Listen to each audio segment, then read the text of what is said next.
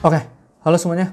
Balik lagi di channel Brothers. So ya, yeah, Xiaomi Poco X3. Salah satu smartphone paling hype atau paling dicari ya kayaknya di 2020 ini gue rasa semua spesifikasinya yang ditawarkan rasanya agak nggak masuk akal juga sih emang kalau dilihat dari harganya 3,5 juta untuk yang varian gue ini 8 GB, 128 GB. Kalau yang 3,1 itu yang 6 GB dengan storage 64 GB ya guys. Ya gue juga bisa paham juga karena ini chipset itu 732G. Kalian bayangin aja, HP yang harganya 5 juta kayak Samsung M51 kalau gua nggak salah itu masih 730G nih guys. Itu ada ya beda dua angka. Kemudian lanjut ini juga menggunakan layar refresh rate 120 Hz. Jadi ya lebih smooth, lebih enak untuk scrolling segala macam. Kemudian baterai juga cukup besar yaitu 5160 mAh yang cukup untuk seharian menurut gua. Dan juga ada NFC sensor kamera IMX682 ada IP rating juga yaitu IP rating 53 bahkan speakernya itu udah dua guys di atas dan di bawah yang berarti ini ada stereo speaker. Gue yakin untuk keunggulan-keunggulannya sih lu semua juga udah pada hafal lu semua juga udah pada tahu. Jadi gue pengen ngasih tahu nih sebenarnya apakah secara user experience atau pengalaman penggunaan itu sesuai dengan ekspektasi yang ditawarkan oleh si Xiaomi ini. Kita langsung mulai nih guys, kita bedah dari layar 120 Hz. Sebenarnya menurut gue ini menjadi kelebihan yang kurang berguna ya, karena selain untuk scrolling-scrolling aja nih guys, gue rasa kayaknya nggak ada kelebihan yang lebih lagi. Kenapa gue bisa bilang gitu? Karena game-game yang sekarang semacam kayak CODM ataupun bahkan PUBG Mobile itu nggak ada ya sebenarnya nyentuh 120 Hz.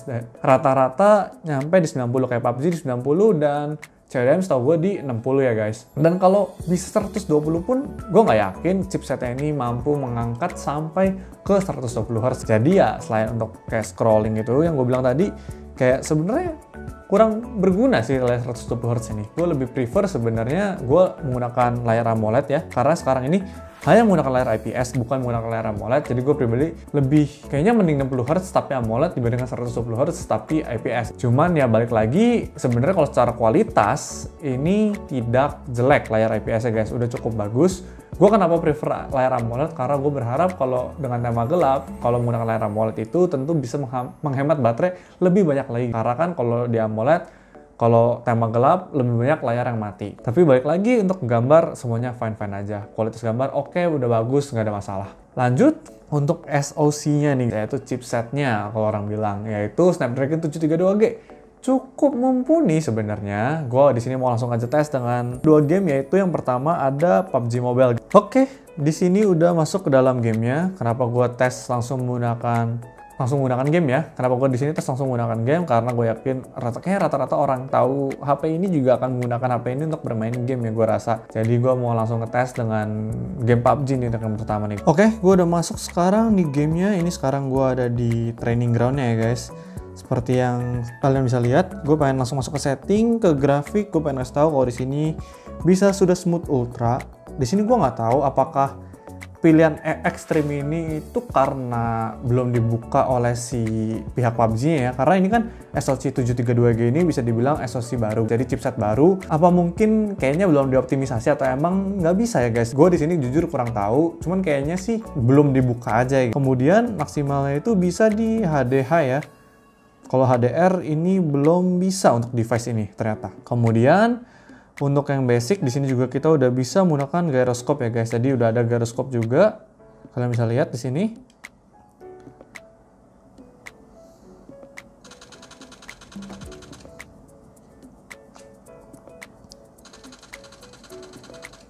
Sejauh gue biasa main PUBG sih, kalau di game ini sebenarnya cukup stabil ya frame rate-nya ya. Jadi jarang ada frame drop di game ini udah cukup bagus, optimisasinya udah enak juga secara gerakan. Udah cukup lancar, aman-aman aja, nggak ada kendala segala macam. Jadi nggak terlalu panas juga di game ini. Gue juga nggak tahu kenapa. Untuk game yang satunya itu jauh lebih panas. Nanti kita coba game satunya guys. Jadi untuk game PUBG menurut gue udah cukup oke, okay. nggak ada masalah. Gue nggak ada kendala segala macam. Semuanya aman, FPS aman, panas juga ya. Masih dalam batas wajar menurut gue Frame drop pasti ada, tapi tidak parah menurut gue di game ini. Itu aja paling. Lanjut ke game berikutnya. Di sini gue main main COD Mobile yang biasa gue mainkan karena gue emang lagi cukup sering main COD Mobile lagi. Oke, sekarang gue udah dari menu dari PUBG Mobile. Di sini gue kalau lihat setting di sini secara suara dan grafik kualitas grafiknya itu gue biasa main di medium dengan frame rate yaitu maksimal ya. Berbeda sama PUBG tadi belum bisa ke frame rate yang paling tinggi. Kalau di COD Mobile ini frame rate-nya udah bisa yang paling tinggi nih. Tapi kalau kalian mentok di grafik yang sangat tinggi ini hanya bisa frame rate yang sangat tinggi juga. Kalau kalian mau mentok di max, grafik maksimal itu hanya yang high. Di sini juga sama, kalian udah bisa menggunakan gyroscope. Sekarang gue mau nyoba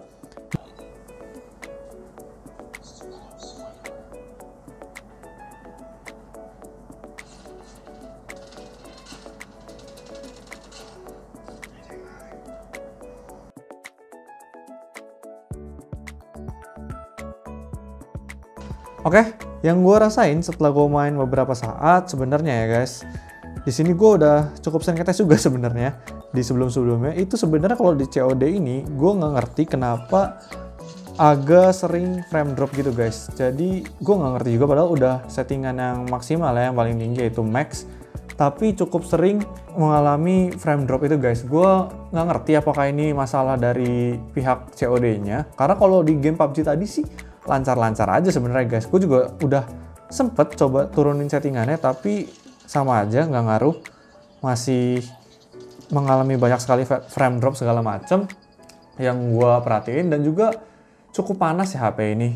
Padahal ada sistem cooling yang disebut liquid cooling oleh si Xiaomi ini sendiri untuk menjaga suhu pada handphone ini, tapi tetap menurut gue sih agak lumayan panas HP ini dan kalau di COD ya ini mengalami frame drop yang cukup parah. Kurang lebih seperti itu sih. Oke, okay, untuk overall buat main game sebenarnya gue nggak tahu kenapa, gue rasa mungkin ini karena SoC-nya aja ya guys yang masih terbilang baru yaitu 732G yang gue bilang tadi masih baru keluar juga dan HP Xiaomi ini HP pertama yang menggunakan 732G jadi mungkin menurut gue masih belum optimal banget aja jadi nggak bisa disalahin juga. Semoga ke depannya bisa lebih optimal lagi sehingga PUBG ya bisa frame rate yang paling tinggi dan juga COD bisa nggak terlalu frame drop lah guys. Karena gue cukup parah ya ngerasakan frame drop itu di CODM nih guys. Kemudian untuk sisi yang gue bilang tadi layar 120 Hz itu kurang berguna jadinya karena ya yang gue bilang tadi lebih berguna hanya untuk scrolling scrolling aja karena gamenya juga tidak mampu diangkat sampai ke 120 Hz guys. Kemudian sistem liquid cooling yang ada di belakang ini juga masih memberikan dampak panas pada HP ini, tapi yang karena bagus HP ini adalah body plastik, yaitu jadi tidak terlalu menghantarkan panas yang gimana banget, jadi masih aman-aman aja. Apalagi kalau kalian menggunakan casing guys. Kemudian kalau untuk main game kayak Mobile Legend atau AoV atau Wild Rift yang gue main di sini itu Wild Rift harusnya sih aman-aman aja. Gue coba Wild Rift sih aman-aman aja. Gue nggak main Mobile Legend dan AoV, tapi sejauh ini sih aman-aman aja. Nggak ada masalah, 60 fps, lancar, aman, tidak ada frame drop ya guys. Itu menurut gue. Kemudian untuk sisi kameranya sendiri sebenarnya udah bagus ya untuk 3 sampai 3,5 juta. Gue nggak bisa komplain.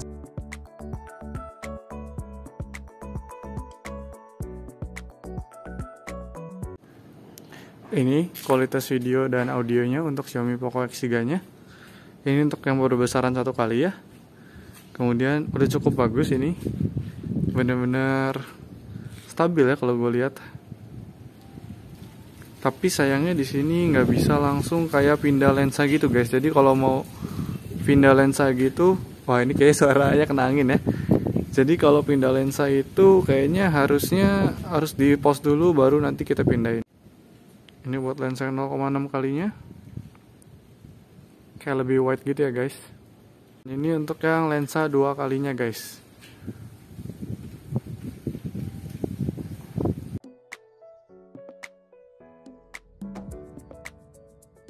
Untuk sisanya sih gue ngerasa oke-oke aja.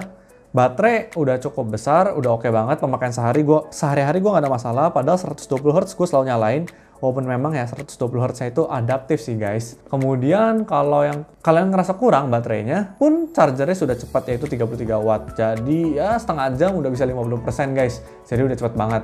NFC juga berguna banget untuk kalian yang mau ngecek saldo atau isi flash atau imani kalian. IP rating juga berguna banget. Ya walaupun IP ratingnya itu cuman kayak anti cipratan doang ya guys.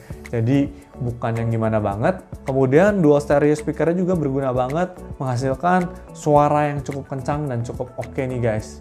So ya, yeah. untuk Xiaomi Poco X3 ini, HP ya tentu HP pasti ada kekurangannya. Dengan segala kekurangan yang ada yang kayak gue bilangin tadi, kayak ya refresh rate yang tidak terlalu berguna sebenarnya. Kemudian SoC yang masih belum optimal tadi, Tapi ya karena harga HP 3,5 juta juga gue nggak bisa komplain karena gue percaya ke depannya karena ini Qualcomm kan ya Snapdragon pasti akan cepat dengan optimal karena prosesor ini cukup banyak dipakai di pasaran.